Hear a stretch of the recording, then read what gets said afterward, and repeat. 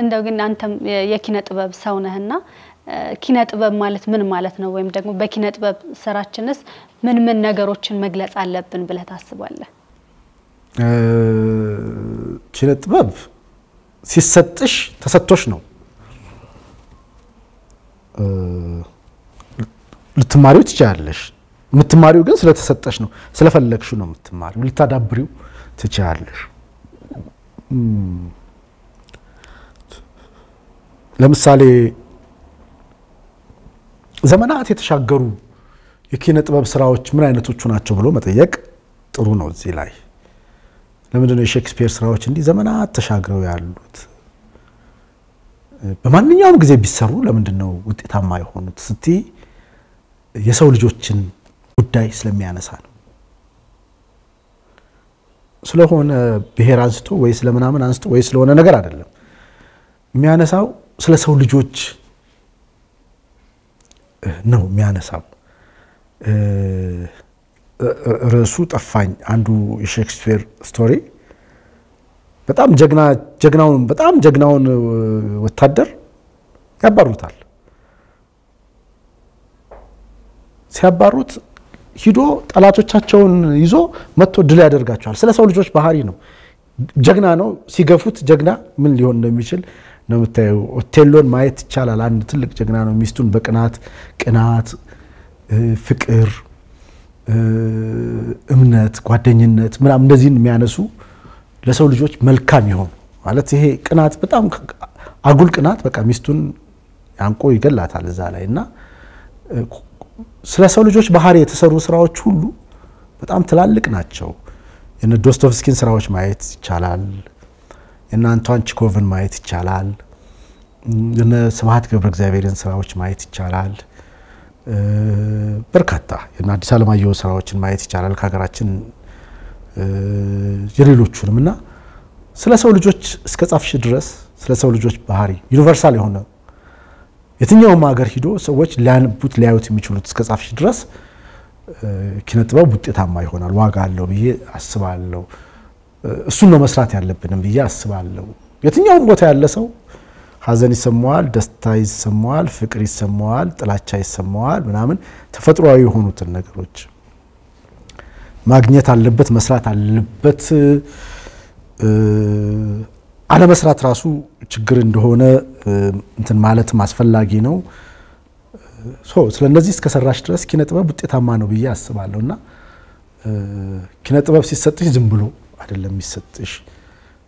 ማየት ይቻላል። በዘፈን የምንነዋይ ደበበ የሚሰሯቸው የተሰጣቸው ሰዎች የሚሰሯቸው ሰዎች የትኛው ጋር ነው ስለ ረብሻ የዘፈነው ያለሽ? የትኛውም ጋር የለም።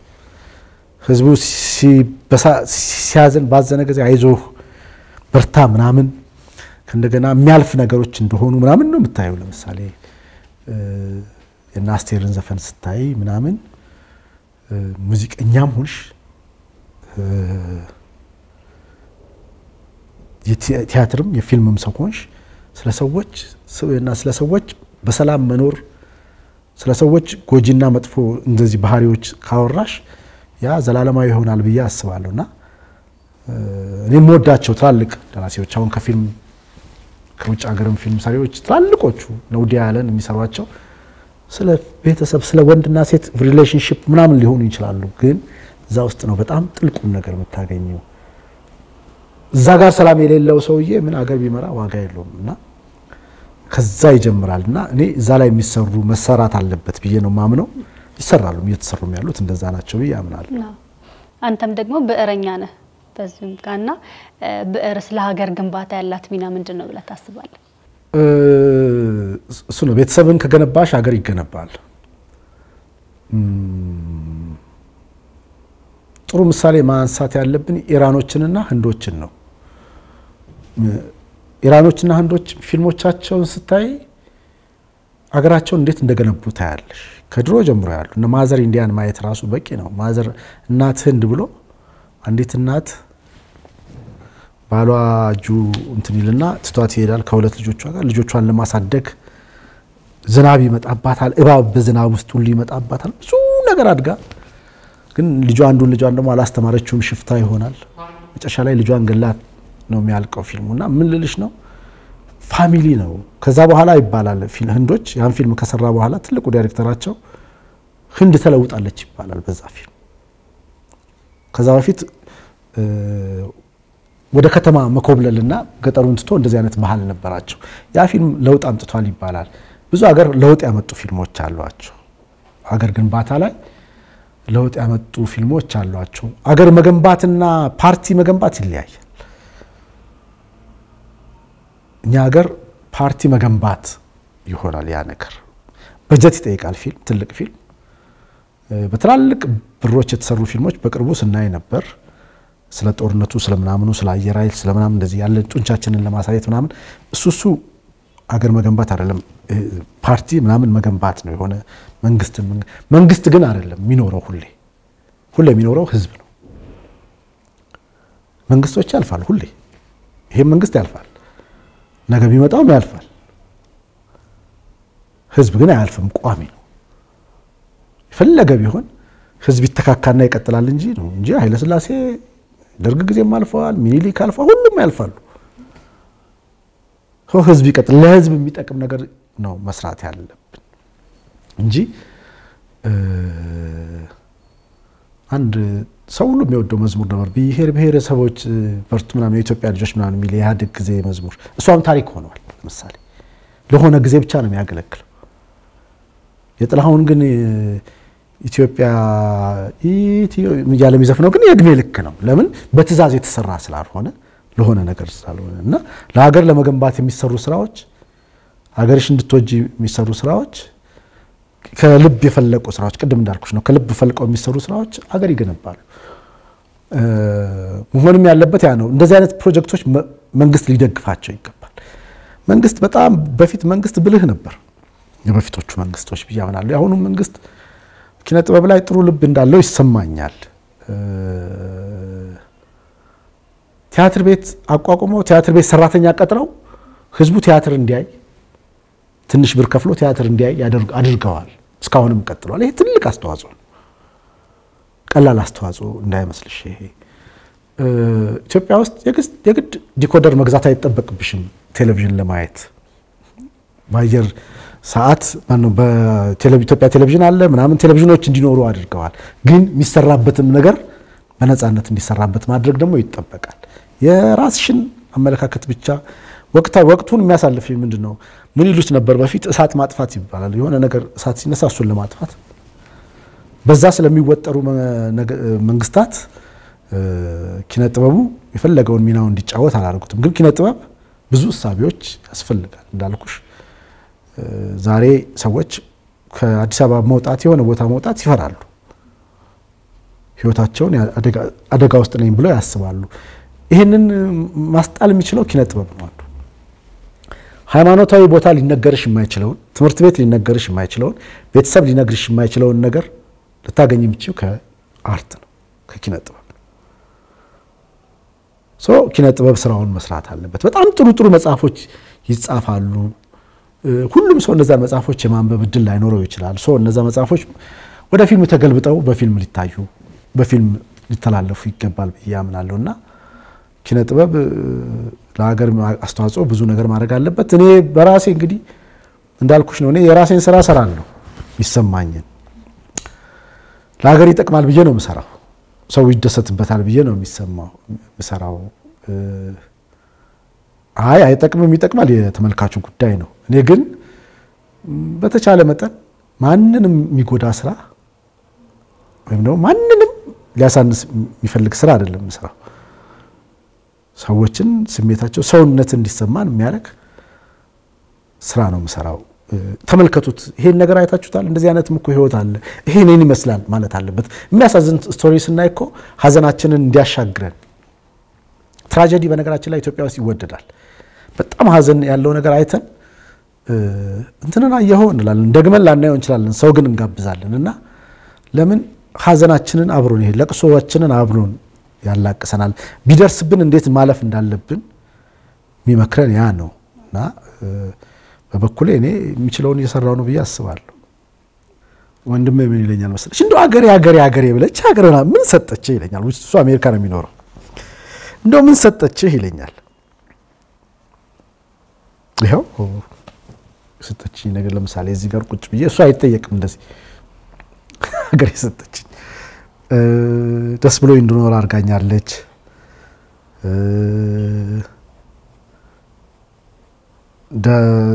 ገንዘብ አጥቻለሁ ብዬ አላስብም። ባይኖ ሀብታም አይደለሁም፣ ግን አይከፍልም ብዬ አላስብም። የኪነ ጥበብ ሙያ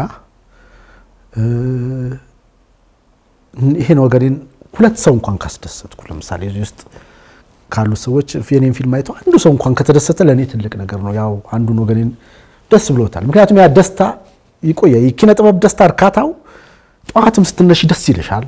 share ታደርጊዋለሽ፣ ከሰው ጋር ታወሪያለሽ። ከደርግ ጊዜ በፊት ምን ነበር መሰለሽ ካነበብኳቸው ነገሮች ውስጥ ድሬዳዋ ውስጥ በርካታ ቲያትሮች ይታዩ ነበር። በጣም ጎንደር ውስጥ ደግሞ ቲያትር ይታይ ነበር። ማናቸው ቲያትር ይሰሩ የነበሩት ገሪማ የኃይሌ ገሪማ አባት ገሪማ ታፈረ ቲያትር ቡድን ነበራቸው። tour ያደርጉ ነበር። ቲያትር የሚያይ ህብረተሰብ ምን መሰለሽ ትርፉ discussion አለው፣ ውይይት አለው። አሪፍ ፊልም እዚህ ውስጥ ያለንን ሰዎች አይተን ስንወጣ ምን እናደርጋለን? እያወራን ነው የምንሄደው። ጉዳያችን ብዙ ነው ማለት ነው። በንጋታውን በጉዳዮች ላይ እናወራለን። ጉዳይ የሌለን ግን ከሆነን ወንዶቹ ተሰብስበን ስለ ሴቶች እናወራለን፣ ሴቶቹ ተሰብስበው ስለ ወንዶች ብቻ ያወራሉ ማለት ከዛ የዘለለ ጉዳይ issue አይኖረንም። ኪነ ጥበብ ግን ከዛ የዘለለ issue ይሰጥሻል፣ ሀሳብ ይሰጥሻል። ያ ነገር እኮ እንደዚህ መሆን ነበረበት። ሀሳብ እንድናስብ አይምሯችን የማሰብ አቅማችንን ከፍ ያደርገዋል። ከትንሽ ነገሮች ብቻ እንድናስ ትንሽ ነገር አይደለም። ስለ ሴቶች ማውራት በጣም አስፈላጊ ነው።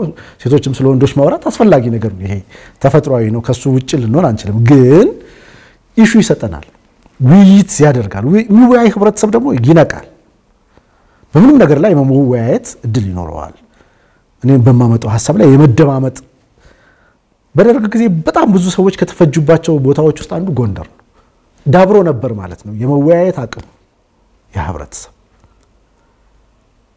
የመነጋገር አቅም እንዲኖረው ያደርጋል። ኪነ ጥበብ አሪፍ ፕሮግራም እናንተ ላይ አስተላልፋችሁ ስልካችሁ ላይ ብዙ ይደወላል። እርግጠኛ በመሆን አሪፍ ከሆነ ያ ፕሮግራም ስልክ ይደወላል። ሰዎቹ መወያየት ይፈልጋሉ ማለት ነው። ሰው ውይይት መፍጠር ከቻልሽ በጣም ትልቅ ትልቅ ነገር ነው። በሆኑ የሆኑ ስራዎቼ እንግዲህ ውይይቶች ፈጥር ያለው ብዬ አምናለሁ። ሰዎች እንዲወያዩባቸው እንዲነጋገሩባቸው አድርጌያለሁ ብዬ አምናለሁ። አንድ ፊልም ነበረን በራሪ ልቦች ይላል ያ ፊልም እና በራሪ ልቦች አንዲት ገጸ ባህሪ አለች። አባቷ ሚስቱ ትታው የሄደችው እሷን ለማሳደግ ሲል ነው። እሱ ድሃ ነው ማለት የመንግስት ሰራተኛ ነው፣ ድሃ ነው ብላ ትታው ትሄዳለች እና ያለበት ቦታ ደግሞ ለጉቦ የሚመች ነው እና ከዛን ጊዜ በኋላ ጉቦኛ ይሆናል ማለት ነው ያ ሰውዬ እና የዚህ የመንገድ ባለስልጣን ምናምን ነው መንገዶች ምንድን ብቻ ብቻ ጉቦ በሱ ምክንያት የሚገቡ መኪናዎች አሉ። ዝም ብሎ የተበላሸ መኪና ብቻ ጉቦ ይቀበላል። በጣም ሀብታም ሆነ። ሚስቱ ግን ትታው ሄዳለች እና ልጁ ለልጁ ሲል ያ የሆነው። አንድ ሰዓሊ ከገጸ ባህሪ ደግሞ አለ እና ሁልጊዜ የሚያስባት አንዲት ሴት አለች። የሚስላት ስዕል እሷን ነው። ሌላ ነገር ሊስል ሁሉ ብሎ ተነስቶ የሚስላት ግን ያችን ሴት ነው። የሆነ አእምሮ ውስጥ አለች እና አንድ ቀን የሄደ መኪና ይጋጭ ይገጭና ሲያይ ወርዶ ሲያይ ያችን ሴት መኪና ውስጥ ያያታል። እዛ ወስዶ ስዕሉን ያሳያታል። እንዴት በቃ አእምሮ ውስጥ አንቺ ነሽ ያለሽው። ይወዳታል ያችን ሴት በቃ ህልሙ ነች ሴት ለሱ። ሌላ ደግሞ ኢንቨስተር ይመጣል እዚህ ሀገርና ተሰቃይቷል። ያ ኢንቨስተር ሚስት ማግባት ይፈልጋል። የሚያገኛቸው ሴቶች ግን መቼ ነው ውጭ ሀገር ይዘኝ የምትሄደው ነው የሚሉት እና ለመጀመሪያ ጊዜ ይችን ልጅ ይተዋወቃታል። የዚህ የዛን ሀብታም ሆኗል ባለስልጣን ልጅ እሷ ግን ለዚህ ለውጭ ሀገር ለምን ደንታ የላትም ነው። ስለዚህ እች ነች ለእኔ ሚስቴ መሆን አገሬ ማለት እች ነች፣ እኔ የምፈልገው እችን ሴት ነው ይላል እና አባቷ ልጅህ እንዳርልኝ ይለዋል። አባቷ ባለስልጣን አባትየው ጉቦ እየጠየቀው ነው፣ ገንዘብ ይሄን ያህል ካልከፈልክ የሚለው ሰው ነው እና እሷ ደግሞ ያኛውን ልጅ ወዳለች፣ አባትየው ደግሞ ይሄን እንድታገባ ይፈልጋል። በዚህ መሀል ጋር የመኪና አደጋ ይደርስባትና እች ልጅ ትሞታለች። ፊልማችን እዚህ ጋር ያበቃል። ከዛ ህዝቡ በጣም ተናዶ ይወጣል። ብስጭት ይላል። ምንድን ነው? ምን አይነት ፊልም ነው? እንደዛ እንዲል ነበር የፈለግነው እኛ እንዲበሳጭ። ምክንያቱም መኪና አደጋ ታሪኩን ሳጨርሽው ነው ሰውየው የሚሞተው። የተንጠለጠለ ብዙ ነገር አንድ ሰው ብቻ አይደለም የምትገኘው በመኪና አደጋ።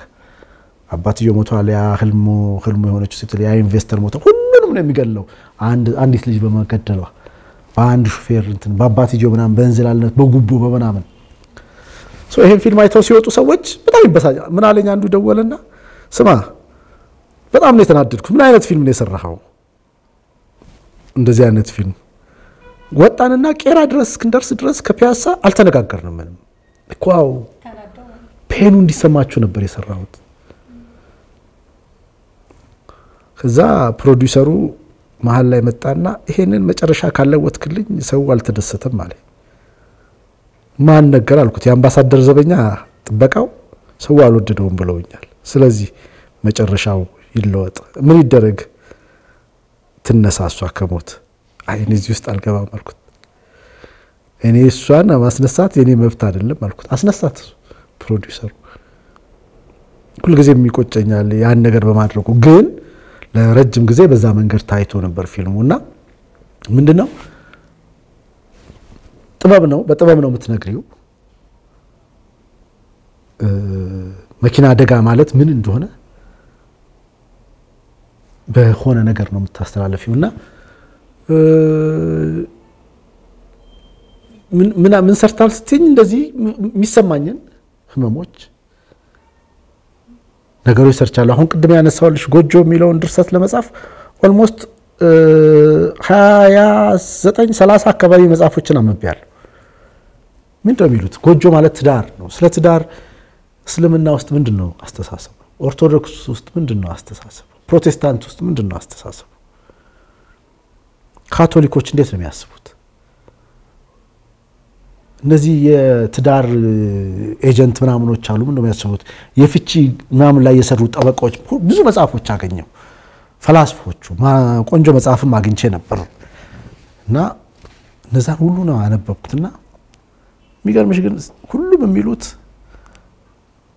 ዞሮ ዞሮ አንዲት ቃል ነው። በቃ አነበሽ አነበሽ የምታገኘው ከሁሉም ባልሽን አክብሪው፣ ሚስትህን ውደዳት ነው። በቃ መጨረሻ ላይ የምትደርሺው ከነዛ ሁሉ መጽሐፎች ላይ ወንድ ልጅ የሚፈልገው መከበርን ነው። ወደድሽው አልወደድሽው ሁለተኛ ጉዳይ ነው ነው የሚልሽ ሚስቱ በሚስቱ መከበር በቃ ሲመጣ ከጓደኞቹ ጋር ምናምን። አንዲት ሴት ደግሞ የምትፈልገው መወድ እንዲወዳት ነው የምትፈልገው።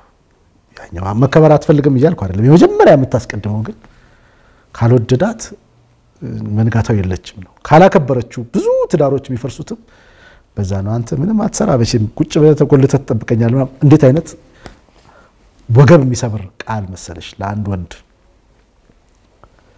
ቀላል። እንዴት ነው ወንዶች የሚያስቡት? እንዴት ነው ሴቶች የሚያስቡት? እነዚህ ነገሮች በጣም እዛ ቲያትሮች ለማሰብ ለመስራት ሞክር ያለው ካነበብኳቸው በመነሳት ሴቶች ምን ይላል አንዳንድ ቦታ ላይ አንድ ሴት ባሏን መታ እንዴ አንተ እራት ከውጭ ከበላን በጣም ረጅም ጊዜ ሆነን ስትለው እሱ እንዴ ባለፈው ሳምንት በላን አይደል እንዴ ይላል። እያለች ያለችው ዛሬ ደብሮኛል እያለችህ ነው ይላል። እዛ ላይ ስላለፈው ሳምንት እያወራች እሷ የምታወራበት መንገድ በዚህኛው መንገድ ነው። ሴቶች ዲስከሽንን በጣም ይወዱታል። እንደው አንዷ ምን ትላለች? ባሌን መጥቼ ላወራው ገና ቅድም እኮ ዝናብ ከቤት ልክ ስወጣ አይመጣም መሰለ ስለ እሱ መፍትሄውን ይነግረኛል አለች። ታዲያ ተመልሰሽ ጃኬት ለብሰሽ አትወጭም ይለኛል አለች። እሷ ልታወራለት ነው ጃኬት ለብሶ መውጣትን እሷ አታው ነው አይደለም። እሷ እንዲሰማት ትፈልጋለች። ስወጣ እሺ ነው ማለት ያለበት። ለወንዶች እንግዲህ ይሄ ጥቅም ትምህርት ነው። እሺ ከዛ ዝናቡ ሲመጣ እሺ፣ ከዛ አይመታ ይመስል እሺ፣ እዛ የሮጥኩ ወጣው እሺ፣ እዛ በቃ ጃኬት ለብሼ ወጣው። አይ ጥሩ አረግሽ ነው እንጂ ማለት ያለበት እሱ። ወንዶች ግን መፍትሄ ነው የምንፈልገው ጃኬት። ምክንያቱም የወንዶች እንትን መፍትሄ ፍለጋ ነው ላይፋችን። እርስ በርስም አንድ ወንድ መጥቶ አንድ ጓደኛውን የእውነት ካልቸገረው ገንዘብ ቸግሮኛል አይልም። የእውነት ካልቸገረው ያን ያህል መታገዝን አይፈልግም። በቃ በጣም እንትና ምን ይላል ሴቶች ምሳ ይበሉና አንድ ላይ ሲበሉ ትዕግስት ጎነ ቲጂዬ ምናምን እየተባባሉ ነው የሚበሉት። ይበሉና ሂሳብ ሲመጣ share አድርገው ነው የሚከፍሉት። ሴቶች እነዚህ መተባበር ይወዳሉ ይላል። ወንዶችስ ገና ሲጀምሩ ራሱ ያ ድንጋይ ራስ መጣ ይባባላሉ አለ። እርስ በርስ አይከባበሩም አለ። የሚያወሩት ሴቶቹ የሚያወሩት በርበሬ ተወደዋል፣ እንትን ትራንስፖርት ጨመረ ምናምን ነው የሚያወሩት። ወንዶቹ የሚያወሩት ደግሞ ጋርዲዮላ ግን በዚህ ሁኔታ መቀጠል የማይመለከታቸውን ሞሪኖ ካልተባረረ ግን ምንም ዋጋ የለውም ምናምን ነው የማይመለከታቸውን ነው የሚያወሩት ሲጀመር ይበሉና ሲጨርሱ ግን እኔ ካልከፈልኩ እኔ ካልከፈልኩ ይላሉ። ለምን እኔ የተሻልኩ ነኝ የሚል ስሜት አለን ነፍሳቸው ውስጥ። አንዳንዴ ላናውቀው እንችላለን። share ማድረግ ራሱ እንትን ማለት ይመስላል። እኔ እከፍላለሁ ላይኖረው ይችላል። ብዙ ጓደኞች ተበድረው እነሱ ሲከፍሉ ብዙ ጊዜ ታያለሽ። እና የምናስብበት መንገድ ራሱ ይለያያል። አንድ ቆንጆ መጽሐፍ አለ ወንዶች ከማርስ ሴቶች ከቬነስ የሚል እንዲያነቡት እጋብዛለሁ። አጋጣሚ የተረጎመው ታላቅ ወንድሜ ነው ዳንኤል የተረጎመው እና እኔ ካነበብኩት በኋላ ነው ስሙን ብዕር ስም ነበር የተጠቀመው እሱ መሆኑን ያወቅኩትና በጣም ጠቃሚ ነው። ሴቶች እንዴት ነው የሚያስቡት? እንዴት ነው የሚሉት? እንትን አይደለም ትዳርን ወይም relationship ን ቆንጆ አድርጎ እንትን ይላል። ከባህሪያችን መነጠል አንችልም፣ ግን ማወቅ አለብን። ቢያንስ ምን እያሉን እንደሆነ እንዴት እንደሚያስቡ ልክ እንደ ወንድ ጓደኛችን መረዳዳት ይወዳሉ። ለምሳሌ ሴቶች ምን ይባላል? ይሄን እያጸዳች ሳለ ጓደኛሽ ስትመጣ አብራሽ ታጸዳለች እና ወንድ ግን ይሄን ሊያነሳው ሲል ካልከበደው በስተቀር እንዲያግዘው አይፈልግም። ችግር የለም ይዘዋለሁ ነው ብሎ ይወስዳል። ከከበደው ነው እንዲያግዘው የሚፈልገው። ማገዝ ራሱ ነውር ነው አንዳንዴ። ይሄ ግን ተፈጥሯዊ ነው፣ ስህተት አይደለም። እና አሁን ብዙዎቹ ትዳሮች ለምን የፈርሱት የሚል ነገር ነው። አንዱ የኢኮኖሚ ነው። ወንዶቹ ያንን መቋቋም አይችሉም። በቅርቡ የወንዶች ሞት ይቁም የሚል ነገር መስራታችን አይቀርም እያልን ነው። ለምን በጣም እየፈረሰ ነው ትዳር። በጣም ከአቅም በላይ ወጪ ነው። ከወንዶች የሚጠበቀው ብዙ ነገር አለ ምናምን እና የምናስብበት የምንኖርበት መንገድ ዓለም አቀፍ የሆነ የወንዶች ባህሪም ሴቶች ባህሪም አንድ አይነት ነው። ከአዳምና ከሔዋን የመጣና ያንን ለመስራት ብዙ ጠቃሚነታቸውን አሁን ለሀገር የሚጠቅሙ ስትይ በደንብ ተዘጋጅተሽ ከሰራሽ ይጠቅማል። አሁን ይሄ አሉ ያልኩሽን ስራ ስንሰራው በእርግጠኝነት ለሆኑ ሰዎች ይጠቅማል። ይሄ አይረባም ምንድን ነው የሚቀራብደውም ሊሉ ይችላሉ። ያንንም ማለት መብታቸው እንደሆነ ሁሉ ግን ለተወሰኑ ሰዎች ደግሞ ሊጠቅም ይችላል እና እንዳልኩሽ ነው። ሰለሞን ድሬሳ ምን ይላል መሰለሽ አንድ ሰው የኔን ግጥም ገጥሞ አንብቦ ከተደሰተ በቂ ነው ይላል። የዛን ያህል ኬርለስ ሁኛ አይደለም ማወራው፣ ኬርለስነትም አይደለም የሱ አንድ ሰው አይቶት ከተደሰተ ደረጃ አይደለም። ሁሉም ያየው ሰው ሁሉ እንዲደሰት ለማድረግ ጥረት አደርጋለሁ ከተሳካልኝ። ግን ባይደሰቱ የእኔ ስህተት ነው። እንግዲህ ምንም ማድረግ አይቻልም። ላጠፉት ጊዜ የወንዶች ሞት ይቁም፣ የአባቶች ሞት ይቁም። ተመልከች፣ ጉቦ በጣም በዝተዋል። ወንዶች ናቸው ብዙ ጊዜ ጉቦ ተቀባዮች፣ ሴቶች አይደሉም። ለምንድን ነው እነዚህ ሰዎች እንደዚህ ደረጃ ጨካኝ የሆኑት? እንዴ ትራፊክ እኮ መጥቶ በግልጽ ነው እኮ የሚጠይቅሽ ይሄ የሚያስቀጣ ስንት እንደሆነ ታውቃለህ? ምናምን ይልሻል መጥቶ በቃ የሆነ ብር ትሰጪዋለሽ። በየቦታው ጉቦ በዝቷል ምናምን። ለምን መቋቋም አልቻለም ሰው? ሃይማኖተኛ ነው። በዚህ ሃይማኖት ውስጥ አድርጎ ከልጅነቱ ጀምሮ ቤተ ክርስቲያን እየሄደ ያደገ ልጅ ምናምን እንደዚህ ጉቦኛ ያደረገው ምንድን ነው? እንደዚህ ጸባዩን ልውጥውጥ ያደረገው እንደ ጭራቅ ያደረገው ምንድን? ይሄ መገዳደል ወንዶች ናቸው የሚገዳደሉት በአብዛኛው። በጣም ጥቂት ነው ሴቶች ያሉበት። እንደ ፓርላማውን አንዴ በሴቶች ተሞላና ወዲያው በፍጥነት ወደ ወንዶች ሆነ አይደል? አሁን ሚኒስትሮች ምናምን ቀንሰዋል ሴቶቹን። so መቋቋም ከባድ እየሆነ እንደመጣ ነው የሚገባኝ። የቤት ኪራዩ፣ ትራንስፖርቱን፣ ምኑን ምኑን ኬት ትሞዪያለሽ? መስረቅ ሊኖርብሽ ነው፣ ግዴታ ሊሆን ነው ማለት ነው። እኛ እንሰራለን እና አንዳንድ ጊዜ editor ኦቹን ምናምን ስታናግሪ ትደነግጫለሽ። ምን ሆነህ ነው? በጣም እኮ ውድ ብር ነው የጠየቅከው ምናምን ስትይው no እኔ እኮ ሰፈሬ ቢሮ እንትኔ ነው ሁለት ወር በዚህ ላይ እንትን ማለት ይህን ያህል ከስራለሁ ይላል። የሚያገኙት አቅምና የሚያገኙት ነገርና መሞት የግድ መንጠልጠል መሰቀል ብቻ አይደለም። በቁም እያለሽ መሞት አለ። አሁን እየሞትን ነው ብዬ አስባለሁ። ጉቦ የሌለበት ቦታ አጋጥሞሽ ያውቃል? ሆስፒታል ውስጥ እኮ ጉቦዋል። እዛ ቦታ ላይ ጉቦ መጠበቅ የለብሽም። በጣም በሚያስገርም ሁኔታ የሃይማኖት ሰዎች የሚያወሩትን አይተሻል? በዩቲዩብ ላይ ምናምን በዩቲዩብ እኮ የሆነ ገንዘብ ለማግኘት ነው ከነሱ የማይጠበቅ ነገር ደረጃ የሚያደርሱት የሃይማኖት ሰባኪነን እንደዚህ እንደዚህ እንደዚህ ነው ማለት በየትኛውም ሃይማኖት የሚሳደቡት ምን የሚሉት በጣም ተሳዳቢ አሁን የማውቀው እኔ በብዛት ብድግ ብሎ እንደዚህ ጸጉርሽን እንደዚህ አድርገሽ ምናምን ለማስተማር የግድ ያን ያህል መሳደብ ይጠበቅብሻል። ቆንጆ ሆነሽ ባልሽን ጠብቂው ለማለት ቅቤሽን ተቀብተሽ ምናምን ብሎ አንዳንድ ጊዜ ከእንትን ይወጣብኛል ከዲሲፕሊን እኔ ዲሲፕሊን አስተማሪ አይደለሁም። ለእኔ ግን ይጎረብጠኛል ያ ነገር። ለምንድን ነው ገንዘብ ለማግኘት ነው መሞት ነው ይሄ እያለሽ እኮ ትሞቻለሽ። ምን ልበልሽ ከስነ ምግባር ውጪ ሲሆኑ ሰዎች በብዛት ታያለሽ። በዚሁ ከቀጠለ የባሰ እየሆነ ይመጣል።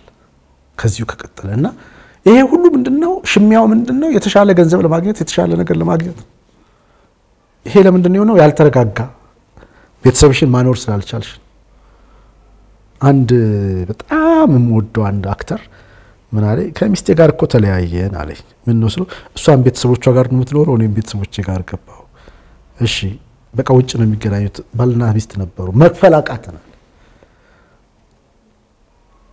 በጣም ጨዋ ልጅ ነች እች ልጅ እንጂ ተሳድባው ቢሆን ኖሮ ተፋተዋል። ይሄ የምኖር ለመኖር የምናደርገው ትግል አስቸጋሪ እየሆነ መጥቷል። ሞት አይደለ ይሄ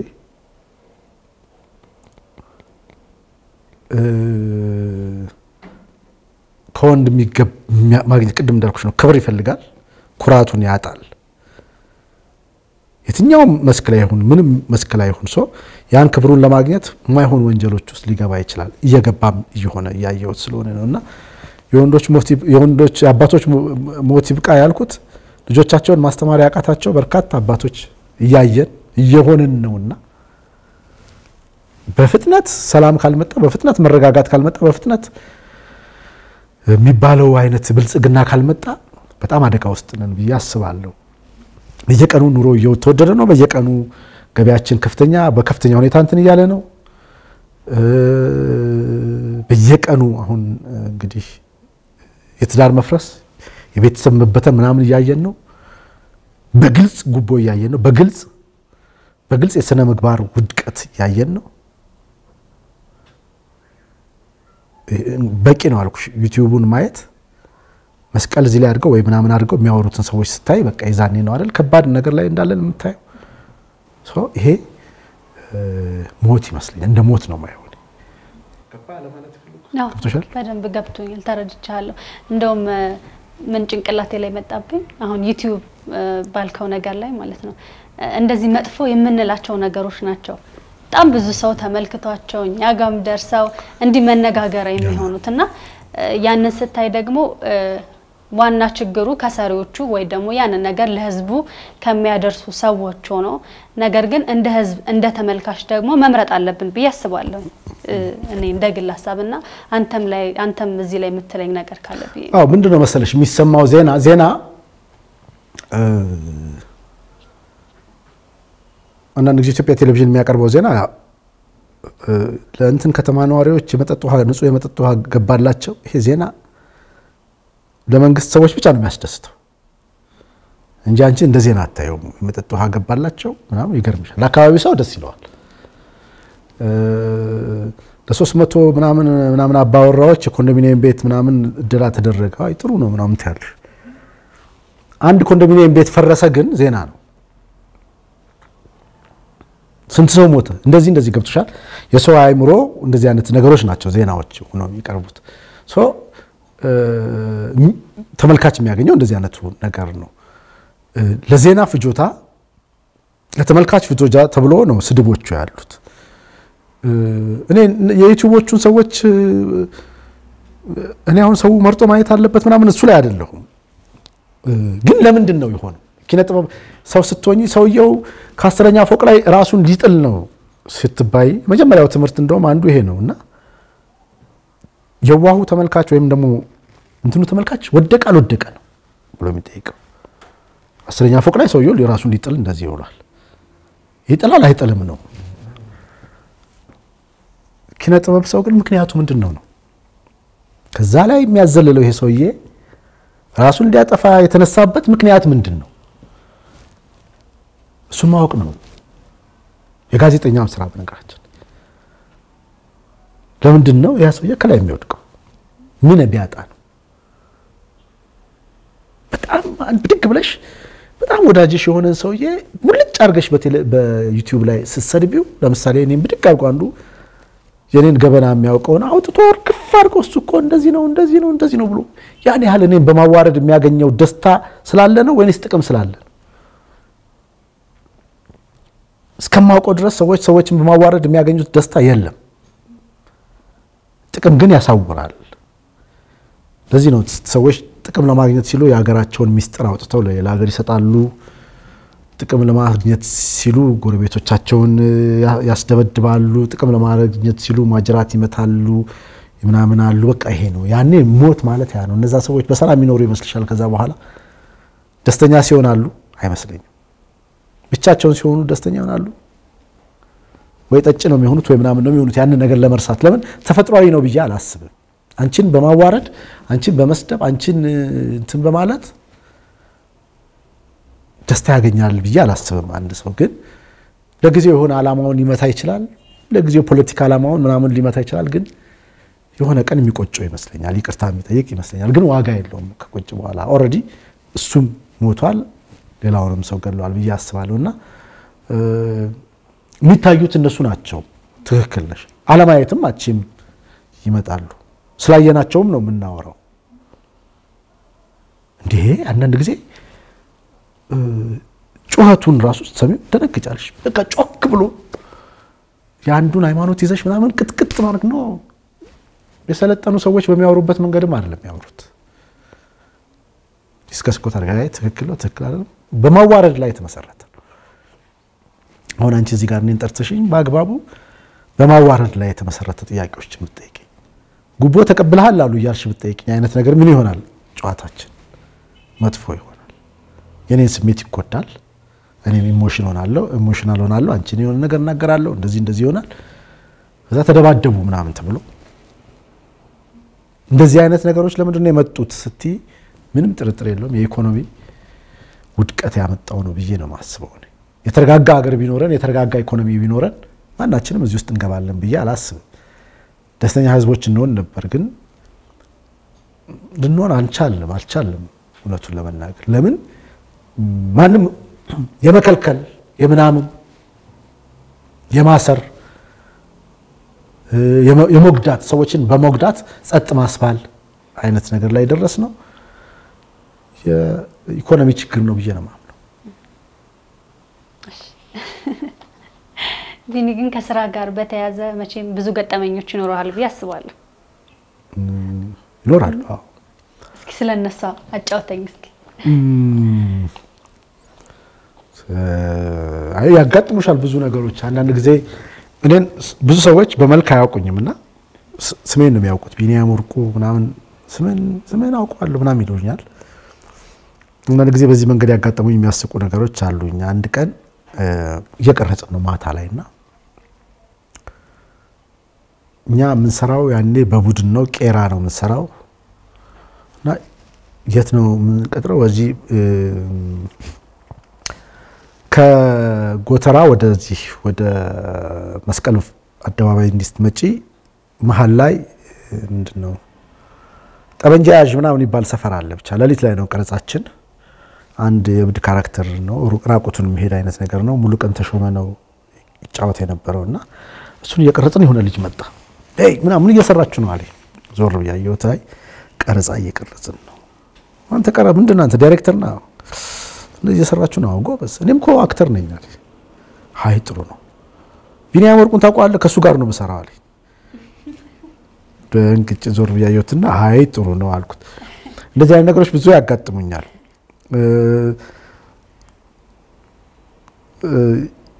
የት ነበር ማውቀህ አለኝ። አንዴ ደግሞ አንድ ልጅ ታክሲ ውስጥ ቁጭ ብለን እኔ እንጃ እንግዲህ ቀበሌ እነ ቢኒያም ጋር አለኝ። ለራሴ መት የሚያስቁኝ ነገሮች ናቸው እነዚህ።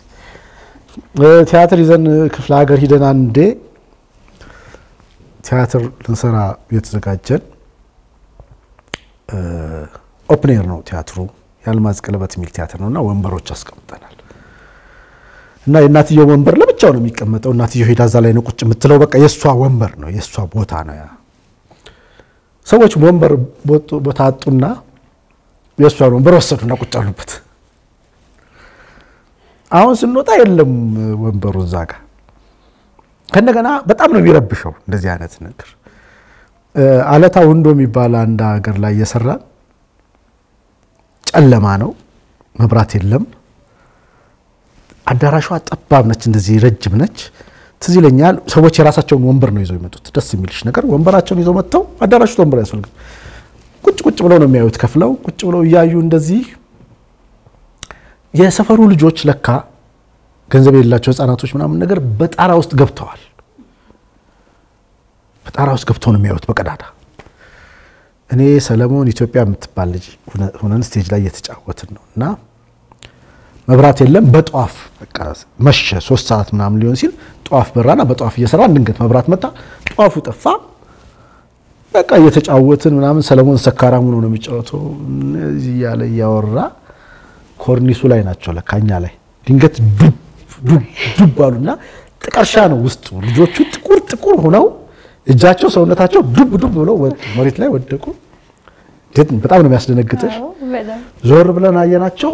እንደወረዱ ወደ ህዝቡ ነው የሮጡት። ህዝቡ ብትን አለ አዳራሽ ውስጥ በህዝቡ መሀል እየሮጡ ማይረሳኝ ገጠመኝ አንዱ እሱ ነው። ሰለሞን ቢያወራው ነው ደስ የሚለው አንዳንዶቹን ወሬዎች በደንብ ስለሚችላቸው። ከዚህ በፊትም አውርተነዋል አንዴ ከሱ ጋር ይሄን ነገር። አንዴ ደግሞ አንድ የሰከረ ሰው መጣ። ኦፕኔር ነው የምንሰራው እና እየሰራ ሰለሞን ሰካራም ነው አልኩሽ እና እማዬ እናቴ እያለ ያወራል። ሰውየው መጣ አቋርጡ ህዝቡ ቆይ አለ። ይሄ እውነተኛ የእኔ ታሪክ ነው አለ። ገና እኮ ቲያትር መጀመሩ ነው። አስር ብር አወጣ ሰለሞን ግንባር ላይ እናትየው እኔም አለው ሶስታችንም ግንባር ላይ ለጠፈ። እጁን ያዘው እንደዚህ ያደረገው ልክ እንደ ዘፋኝ እጁን እንደዚህ ያደረገ። በጣም እውነተኛ የኔ ታሪክ ነው።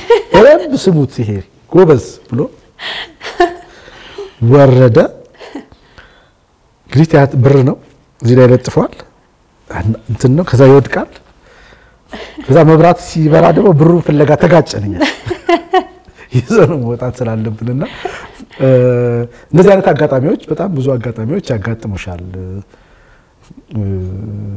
በቂ አይደሉም። በጣም ጥሩ ጊዜ እያሳለፍን ነው አብረን። እንደው ግን ወደ ፕሮግራሜን ወደ መጨረስ እየሄድኩ ነው እና ከዚህ በኋላ ከቢኒያም ምን እንጠብቅ? ምን አዳዲስ ስራዎችን ያው እኔም ተመልካቾችም ይጠብቀዋል። በቅርቡ ትራንዚት የሚል ቲያትር እንከፍታለን ብዬ አስባለሁ። በዚህ ወር ምናልባት ከተሳካልን ሀና ዮሐንስ፣ ሸዋፈራው ደሳለኝ፣ ሳምሶን ታደሰ ቤቢ እና ሰለሞን ቦጋለ ናቸው የሚጫወቱት ቲያትሩ ላይ። እሱ ቲያትርን እንጠብቃለን። ሌላም ቲያትር እየሰራን ነው። ታፈራው መብራቱና ሰለሞን ሙሄ ናቸው የሚጫወቱት። እሱን ደግሞ ሰለሞን ሙሄ ከረጅም ጊዜ በኋላ ወደ በመድረክ ላይ ሰርቶ አያውቅም። ከዚህ በፊት ይሰራ ነበር ድሮ ልጁ ነው፣ ግን ከዛ በኋላ ለመጀመሪያ ጊዜ ነው እዚህ ላይ የምናየው። ለነገሩ በመድረክ ላይ ሀናንም ካየናት በጣም ረጅም ጊዜ ነው። ሰለሞንንም ረጅም ጊዜ ነው።